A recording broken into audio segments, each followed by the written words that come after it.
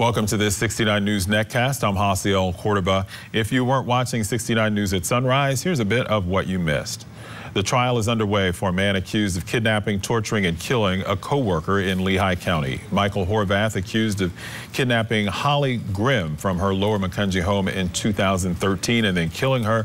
The trial is expected to last about two weeks. A second man charged in a deadly shooting at a Northampton County shopping center last summer is now in custody. Kevin Littles of Harrisburg turned himself in yesterday. Authorities say the shooting was over a drug deal gone wrong. PennDOT asked the public to weigh in on a proposed widening project on a section of Route 222 in Berks County. They unveiled the project last night at Kutztown University. If the final design is approved, PennDOT estimates it could break ground in about three years. The heat is on this weekend with temperatures expected to hit the 90s. You'll see some clouds and showers this morning with sun peeking through later today. For more local news, watch 69 News or get updates at WFMZ.com. With the 69 News Netcast, I'm Hasiel Cordoba.